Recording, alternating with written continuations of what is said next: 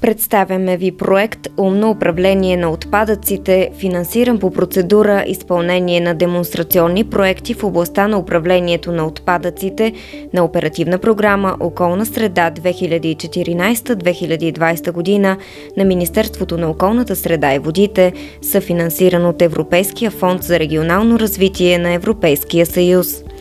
Проектът има за цел да демонстрира модела плащане според количеството отпадъци, възоснова на измерване количеството на образуваните битови отпадъци от домакинствата. Основната му цел е намаляване на количеството образувани смесени битови отпадъци от домакинствата и повишаване на количеството разделно събрани рециклируеми отпадъци. Продължителността му беше 18 месеца. Откъде дойде идеята? Като основа за демонстрацията беше използвана една от най-успешните и препоръчвани на ниво Европейски съюз добри практики, прилагана в провинция Тревизо, регион Венето, Италия в продължение на 20 години и възпроизведена в други градове в Европа. Раното въвеждане на системата в Тревизо и наличието на дългосрочни данни за резултатите от управлението на отпадъците го превръща в отличен пример за изучаване и еталон. Избран беше и допълващ метод, прилаган в окръг Дармштадт, Дибург, Германия, който е подходящ за квартали с многофамилни сгради. За осъществяването на този проект се обърнахме към община Габрово. Разположена в центъра на България, тя обхваща типичните за страната условия на живот, както за градовете с многожилищни сгради, така и за по-малките населени места. Община Габрово успешно комуникира с гражданите посланията свързани с управлението на отпадъците, което е довело до повишаване на общественото съзнание на хората. Това прави града изключително благоприятен за демонстриране на избрания успешен модел. Със съдействието на община Габрово беше определен район подходящ за извършване на демонстрацията на територията на общината. 320 домакинства доброволно се включиха в изпитанието. В близост до жилищните блокове, обитавани от тях, бяха разположени специални контейнери с монтирано съвременно оборудване, включително боксове за заключване на контейнерите, позволяващо отчитане на количествата образувани отпадъци. На всеки член от домакинствата беше предоставена специална карта, чрез която той или тя да може да отключва контейнера.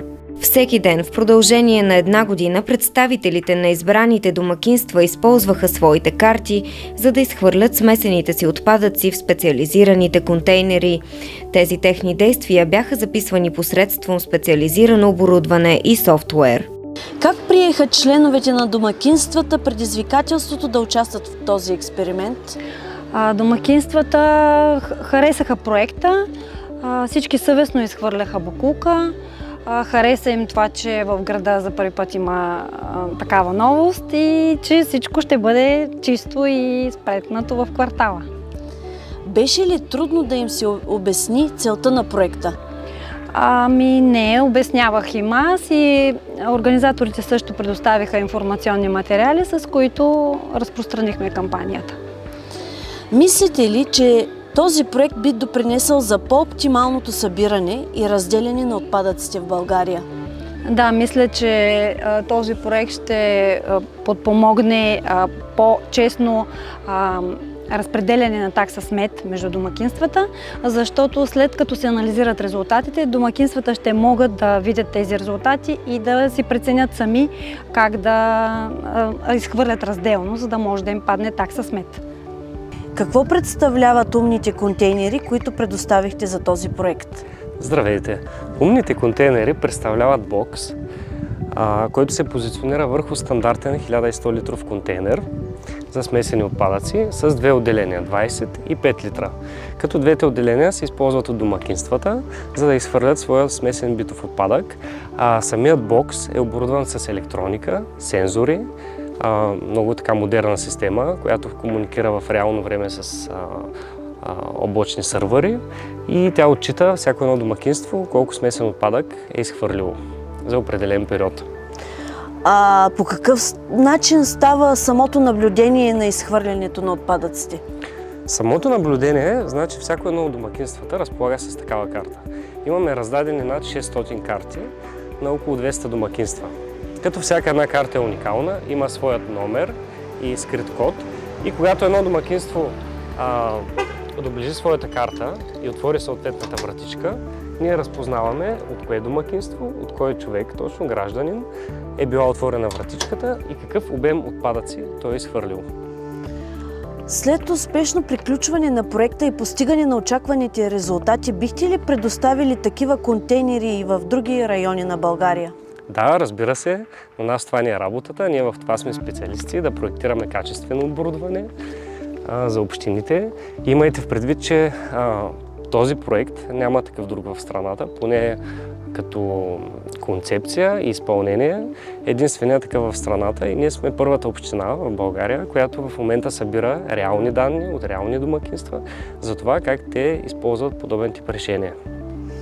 Ако се приеме такава практика, колко надежна би била тя? Достатъчно защитени ли са контейнерите? Според мен контейнерите са достатъчно защитени. Както виждате, ние по време в фазата на изпълнение на този проект не сме правили никакви компромиси относно материалите. Всичко, всички материали използвани са най-висок клас, електрониката, която е използвана е от най-висок клас и самия софтуер. Аз лично съм свидетел и съм виждал такива а, подобно решение в Германия, в Хановер. Там между, в междублоковите пространства има позиционирани такива боксове. И това, което мога да ви кажа е, че а, решението, което ние доставихме в класи по-високо като, като клас на оборудване, дори от контейнерите в Германия. Поначало, още от, от самото начало, ние искахме да, да изпълним проекта не само да покрием необходимите спецификации, а наистина да стане самото оборудване от висок клас, за да се гордее с нас и възложителя, и самата община.